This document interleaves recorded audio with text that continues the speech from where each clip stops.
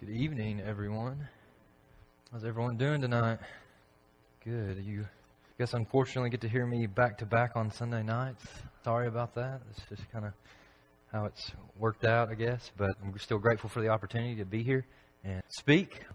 Last week, you know, I absolutely love my mama. Love her to death. Last week, though, when I spoke, she came and my aunt came and my brother. And last week I spoke and I was wearing jeans and t-shirt. was pretty casual, and my mama got on to me. She said, "What are you doing wearing that, Ross?" And I was like, "It's okay, mom. It's it's fine." And so this week I decided to dress a little bit more casual in honor of her. So that's why I'm wearing a tie, a little bit more dressed up.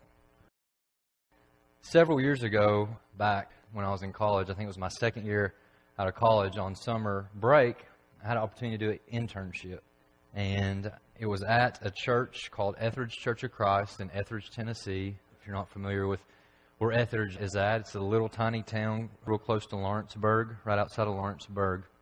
Kind of a big Amish community lives there. And it's a neat little town, and I was able to work as a intern for the youth group there at Ethridge Church of Christ for the summer, and absolutely loved my time there. It was a great place. And but while staying there and working there, one of the things that I did was every two weeks or maybe every week I would stay and live with a different family. So one week I was here, and then I would pack all my stuff up and go stay with another family from week to week or every two weeks. I mean, it was pretty neat. It was neat to be able to stay and live and be with members of the congregation there at Ethridge.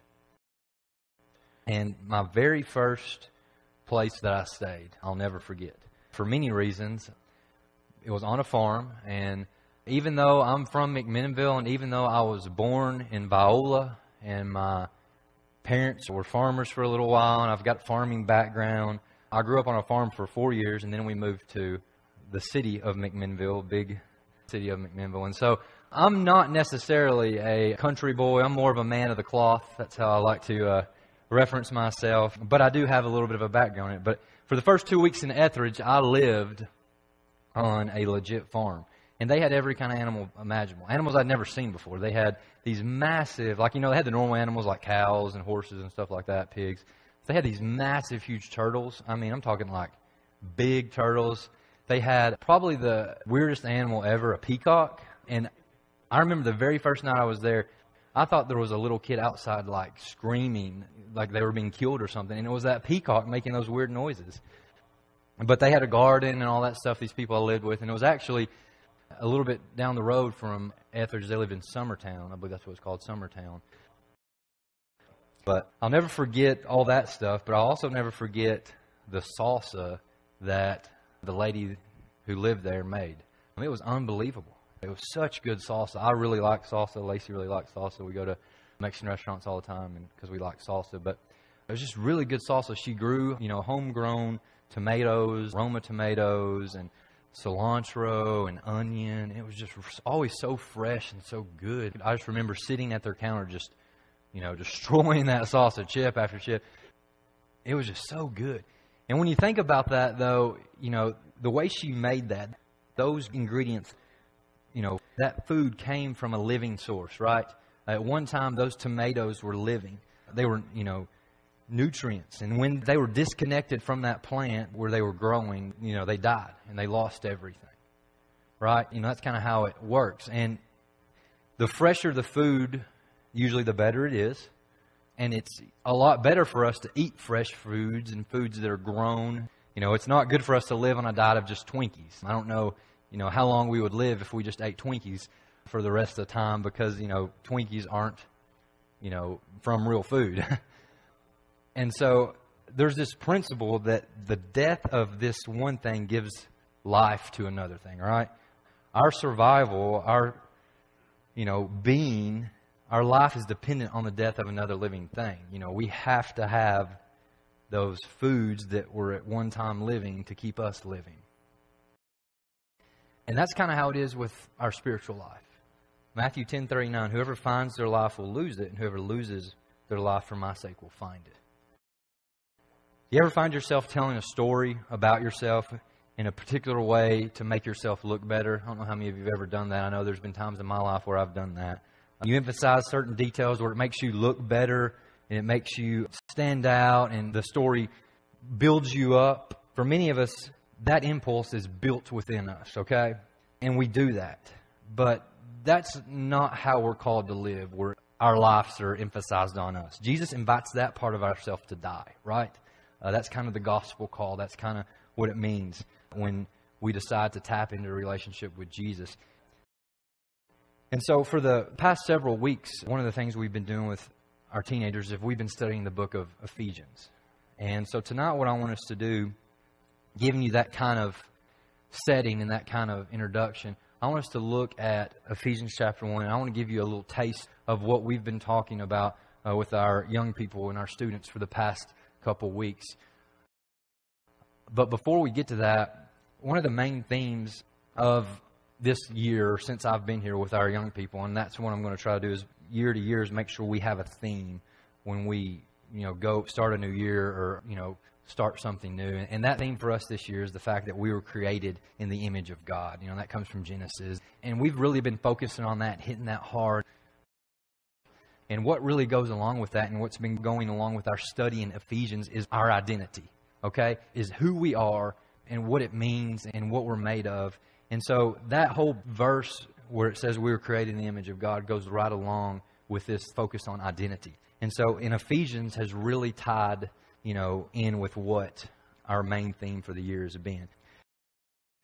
When you look at the theme for the book of Ephesians, I really believe that the theme for that book is the relationship between Christ and the church. If you really dive into Ephesians, that's what you see. Is you see just the relationship between Christ and the church. You know, one can think of it this way as Christ being the groom, the church being his bride. You know, we all have heard that before.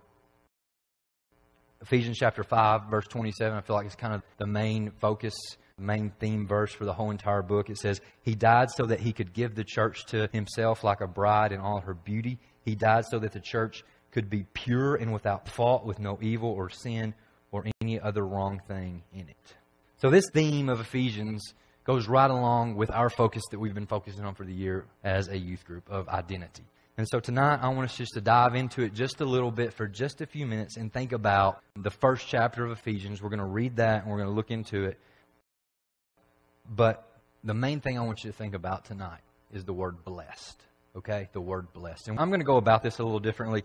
Usually I have several points and, you know, kind of stick to those points. And what I want to do tonight is I really want us to get the passage Ephesians 1 1 through 14, and I want us to really dissect that passage for the few minutes that we have.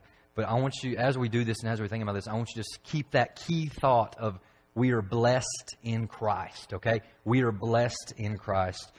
I think that word is tossed around a lot in Christianity, and I think I've talked a little bit about that before. You know, we talk about we're so blessed to be in this country, a citizen of this country, which is absolutely a great statement and true. You know, we live in the South, so no matter if that baby is ugly or not ugly, we always say, bless their heart. You know, that's our phrase to get by with anything. But we use that term, blessed, all the time. And sometimes it's not the right reason. I did this a couple, I guess it's been a couple years. I did it with a youth group one time, but I uh, got a pebble. And I brought somebody up in front of the class, and I took, well, I think it was maybe a handful of pebbles. And I gave them the handful of pebbles, and I told them, take your shoe off and put all these pebbles in your shoe. And they said, okay. And so they put them on their shoe. And then I gave them a really big sucker and said, Here, I want you to have this sucker. And they said, Okay. And then I said, I want you to put your shoe on and then walk around for a little. So they put their shoe on, they walked around, and then I asked them the question I said, What was it like for you to walk around like that? And the answer was, you know, it hurt. I couldn't take it. The pebbles hurt my foot. It was just a, a horrible experience. I didn't like walking around with those rocks in my shoes, Ross. It was horrible and didn't say a single thing about the fact that I gave them a sucker. And I think a lot of times, or most of the time, very often, we fail to realize God's blessings because we're too focused on the struggle of life. Sometimes we call that, you know, we call it the struggle bus. We're having a bad day, we're on the struggle bus. And I think a lot of times we focus too much on the struggle bus than the blessings that God rains down upon us continually. And so if you got your Bibles, let's flip over to Ephesians chapter 1. We're going to read these 14 verses and then we're going to kind of dissect them. Keep in your mind this idea of we are blessed in Christ. So we'll start with Ephesians chapter 1, verse 1, and go through verse 14. Paul, an apostle of Christ Jesus, by the will of God, to the saints who are in Ephesus and are faithful in Christ Jesus. Grace to you and peace from God our Father and the Lord Jesus Christ.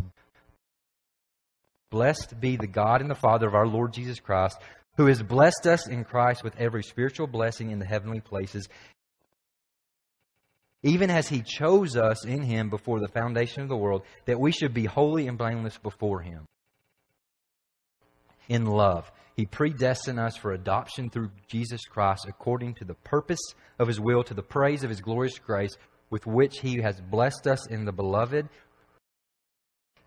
In Him we have redemption through His blood, the forgiveness of our trespasses, according to the riches of His grace, which He lavished upon us in all wisdom and insight making known to us the mystery of his will according to his purpose, which he set forth in Christ, as a plan for the fullness of time to unite all things in him, things in heaven and things on earth. In him who works all things according to the counsel of his will, so that we who were the first to hope in Christ might be to the praise of his glory. In him you also when you heard the word of truth, the gospel of your salvation, and believed in him, were sealed with the promised Holy Spirit, who is the guarantee of our inheritance until we acquire possession of it to the praise of his glory. Wow. A lot is going on in this passage. These verses ring so true to, I think, all of us in here. And if you really think about it, really look at it, you may can even get a little sentimental because this is, uh, this is so important to us. There's huge words in there like blessings, forgiveness, predestined, inheritance, all are, you know, all these words that are very, very important and mean a lot to us. So what I want us to do is I really want us to tear this apart, tear this passage apart for just a few minutes and think about some questions that go along with this passage. So, in verses 3 through 6, what are some blessings we have in Jesus Christ? What are some blessings we have in Jesus Christ as we look at verses 3 through 6. So I think that the biggest thing I see is the fact that we are chosen in Christ before everything was made. And that right there goes right back to we were created in His image. So powerful. That is such a big deal. Is that God chose us. That's a blessing. And a lot of times we forget that or we don't take it and respect it or understand it enough. A lot of times we take that for granted. This was the plan from the very beginning. We are blessed with holiness and blamelessness. What does it mean to be holy and to be without blame? It means that not only are we clean and pure, but in a court system, we've been found not guilty. Okay? What an amazing truth that is. We also have His grace. That's another blessing we see from this. We have His grace. How is grace a blessing? Well, I think we all, you know, a lot of us in here know the definition of grace getting what we do not deserve. And what do we all in here deserve? I think we all know that. And so that grace right there is a blessing. If we jump down to the next verse, verse 7, what's so special about the forgiveness of sins? And I know that's a an easy thing to think about. You know, Ross, if I don't have forgiveness, I don't have, you know, anything really. And that's true. But I think that, you know, that's an obvious answer. But think about it this way two people get into an argument. One person was wrong and the other person was right. The person who was right knew it and had something against the person who was wrong. The person who was wrong felt bad and wanted to be forgiven, but the person who was right would not let things go. He would make him feel like junk. He would badger him, belittle him, all because he was right in an argument and the other person was wrong. Think about this. What if God was that way and held things against us? He's not, though. He could be, but he's not. Forgiveness of sins means God has released us from our bondage, and He has set us absolutely free. He doesn't hold it against us. And that's a big deal. It's a big deal. Verse 8. There's a word in verse 8. It says, He lavished these things upon us. Lavished. That's an interesting word. The word used here is a word that is typically used in the New Testament to mean something that is more than enough or something that is extremely rich. Paul is saying that all of the blessings that God has given us, those blessings, we are made rich because of them. So, all the blessings that God has given us and rained down upon us, we're made rich because of those. When we think of rich, we don't think of what God thinks about when He thinks of rich. When we think about rich, we think about money or we think about possessions. And it's not like that with our relationship with God. He lavished. I mean, that word is just so powerful. Paul is saying that all the blessings that God has given us were made rich. It would be like the difference, you know, there's a difference in not having anything and having something. And through Jesus, we have everything. And that's what Paul is trying to make us realize. In the New Living Translation, it's worded like this He has showered His kindness on us. What a feeling. I mean, that's powerful. Verse 9, next verse. Why is God's will a mystery? How has that mystery been revealed? That's what I was thinking about when we look at verse 9. I think a lot of times we think that His mystery and His will has not been made clear to us. You know, if you ask someone on the street, you know, what's the mystery, God's will and God's mystery and, and that kind of stuff, they're going to be confused and have no earthly idea. But the mystery has been revealed in Christ. Christ is the one who has fulfilled all things, and now that mystery that talks about in this passage, it transforms our life. The mystery is the gospel. There's other verses we can look like in Romans and Colossians, but we have salvation in Jesus, and we have a Savior who gave it all. We look at verses 11 and 12, God predestined us, which means He chose us from the beginning to be blessed. How did He do that? And I know a lot of times when we hear the word predestined, we get nervous or we think, uh, you know, that's crazy talk. Uh, we don't talk about that stuff. But as we think about the word predestined in this passage, it specifically means that He chose us. Back to Genesis, God created us in His image. From the beginning, God chose us to live a life that was in a relationship with Him.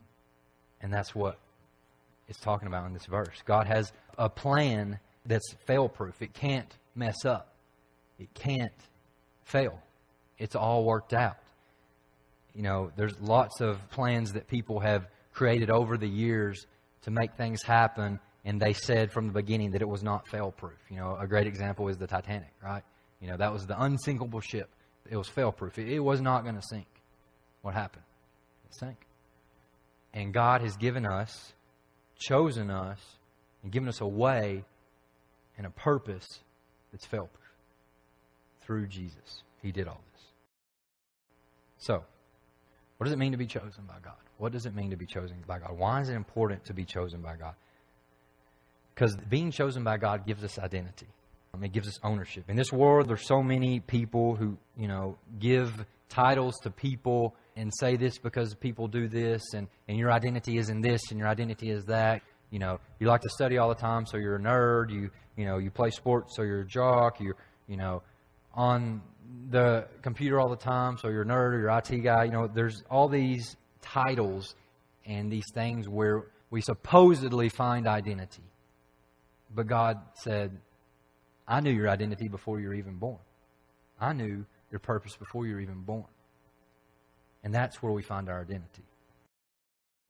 According to verse 13, we are guaranteed an inheritance. Why is it important to have a guarantee? The trademark statement from George Zimmer, I don't know if you know who that is, that's the guy on the Men's Wearhouse commercials, if you've ever seen those. Um, he says, You're going to like the way you look, I guarantee it. That's the quote from the commercials. You're going to like the way you look, I guarantee it. The question is, how does he back his guarantee? A guarantee is only as good as the product you sell, right? Cannot guarantee something if what you have is not worth squat. Can't guarantee it. But we are guaranteed by God because We've seen it happen. We've got proof. And he, from the beginning, he's laid it out for us. I'm a really big basketball fan. I like basketball a lot.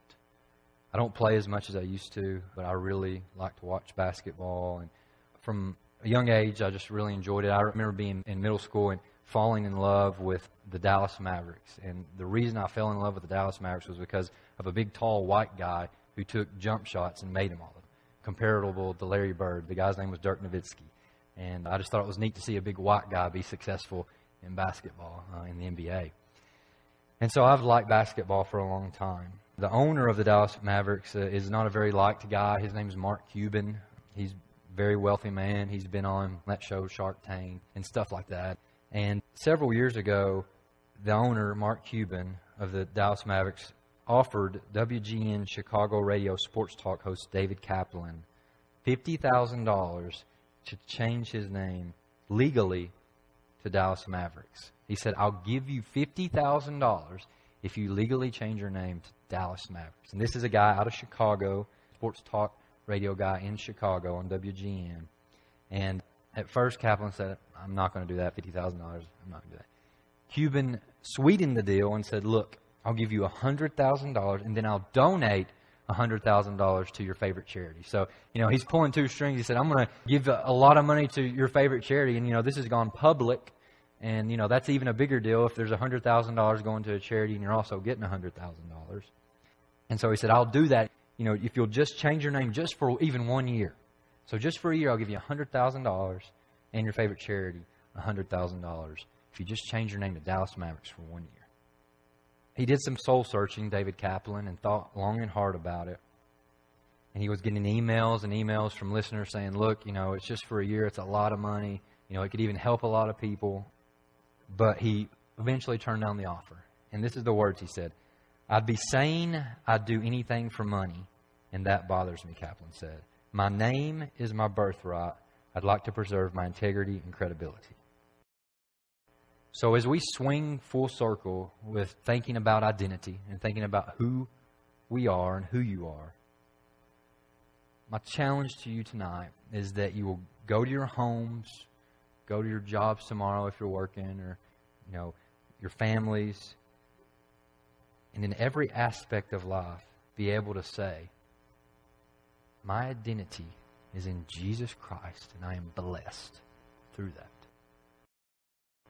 We are such a blessed people. I'm not trying to throw that word around. I'm not trying to just use it as a southern word. I'm trying to make us realize that in Ephesians chapter 1, Paul pours out his heart and says, Look, we are blessed. Paul, through the Holy Spirit, makes us realize how blessed we are. So, a couple questions I want you to think about. What am I doing to focus on the blessings of Christ rather than the sufferings that are going on in my life? What does being blessed look like in the daily aspects of my life? And how can I share my blessings with those around me? We're such a blessed people. And hopefully we'll understand that and realize that more as the days go by. Tonight, we're going to offer invitation like we always do. And if you have a need, we hope that you'll come. If you're not a believer and have been thinking about it and would like to give your life and start a relationship and discipleship with Jesus, we encourage you to do that tonight. If you just need to make some things right, we hope that you can do that. As John says, it's a place of peace, and we want to be here with you and support you in whatever you're going through. Whatever needs you have tonight, we ask that you come right now as we stand and as we sing.